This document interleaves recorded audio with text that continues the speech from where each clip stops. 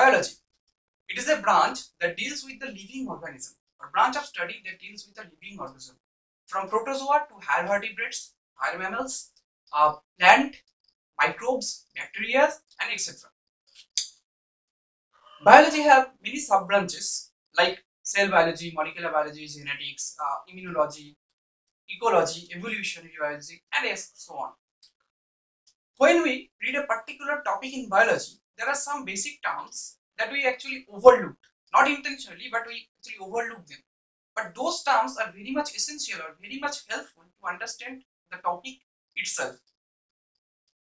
So in this video, I am going to discuss about some basic interesting facts of biology that you must know to understand the topic very well. Hello friends, welcome to Biology Concern. I am Ramesh Chaudhary. So let's jump into the topic. First thing first, the word biology originates from a Greek word bios and logia. Bios means life and logia means branch to study. As I told you before that it is a branch that deals with the living organism. So biology has its origin from Greek word.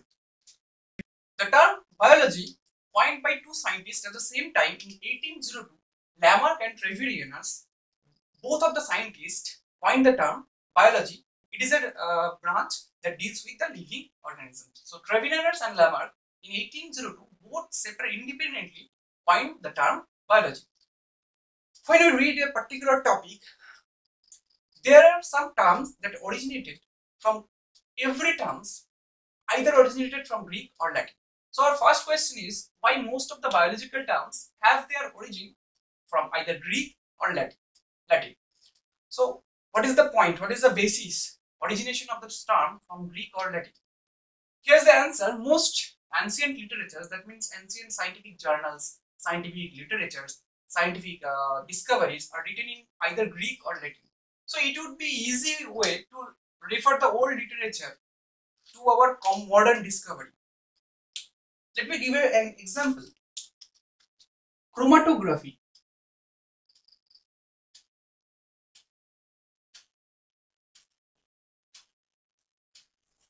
It is a very common tool, very popular tool, very popular technique to identify amino acid, to identify different kinds of phytochemicals. It actually originated from a Greek word that is chroma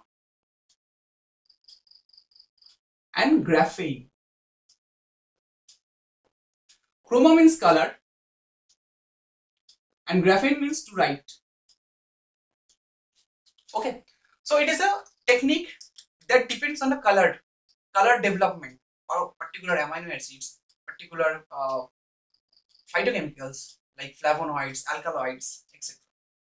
So, in our modern discovery, in our modern terms, easy to refer from those scientific origins or scientific literatures from ancient Greek or Latin literatures. So that is the answer. Second thing, why Latin is the most preferable language for naming of a species. Every species has its own name. Just like us, humans has a scientific name of Homo sapiens sapiens. So we are species and our names in Latin in Homo sapiens sapiens. Why every species has its own name and that originated from Latin and Latin is the most preferable language. Why? So Latin is a dead language. It is actually a dead language and does not evolve. So in, in terms of time, Latin does not evolve. Uh, Oxford English Dictionary every year include few words in their dictionary and it evolved every year and it just widespread and it just evolved every year. So uh, but Latin, on the other hand, is a dead language. So therefore does not evolve and so it is acceptable to everybody. Because vernacular names would be difficult to keep track of a species. Vernacular names or local names. If we consider a particular species, there are several names in several languages. Okay. Uh, in terms of their region, origin. Let me give you an example. Like Naja Naja, the scientific name for common spectacled cobra. I live in West Bengal, India. In Bengali, Naja Naja are referred to as Gokro, and in Maharashtra, it is uh, referred to as Nagasa. So, when we traveled from one place to another place, the particular species name changed in their vernacular names. Okay, so lo their local name had been changed. So, one person have to learn or have to learn all of the language of the world. That is nearly impossible, or it is impossible. So, as a common name, is would be easier to identify the species. If we if I say Naja Naja, that is it is always means for spectacled cobra. Just like Apis indica dorsata, it is a species of Indian honeybee. So when I call the Apis indica or Apis indica dorsata, it means an Indian species of honeybee. So it is uh, acceptable to everybody in the world to understand the species or to identify the species. Next thing, how any word in any language can be converted into Latin. So every word in every language can be converted into Latin. But how? How it is possible? So it is possible in that way by changing the ending of the suffix. So in a word, if we change the ending letter, end suffix, so it can convert it into Latin by using as, a, ensis, II, like Mangifera indica. Mangifera indica is a scientific name for mango. Okay, here you saw that there is a A present in the last suffixing, in suffixing. So, indica, India, and therefore indica. Another example is Solibacillus kalamii. It is a bacteria discovered in International Space Station and it is uh, named after our former President of India, Dr. APJ Abdul Kalam. So it is Kalami, II. So II adding in their end suffix and it converted into a Latin. Okay, so scientific name is converted into Latin. It is an it Kalami refers to tribute to our former President of India, Dr. APJ Abdul Kalam.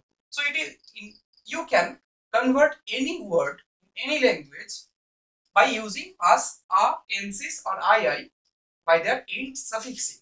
Like Hibiscus rosa sinensis, there is an ensis in the end. Like dorsata, a. Like naja, ah. Okay. Fourth and most important question, what is the original name of Carolus Linnaeus? Carolus Linnaeus is a Swedish, uh, was a Swedish naturalist and also uh, known as the father of modern taxonomy and we all know Carolus Linnaeus but what is his actual name so his actual name is Carl von Linné in the process of taxonomic nomenclature or binomial nomenclature he first converted his name from uh, triple uh, from three letter three word letter to two that means genus and species in, in terms of species. But he first convert his name Carolus Linnaeus from Carolin to Carolus Linnaeus. Then he proceeds to each and every species known at that time. So I think this information help you to understand the basic facts of the biology. If you like the video, please hit the like button and don't forget to subscribe. Thanks for watching.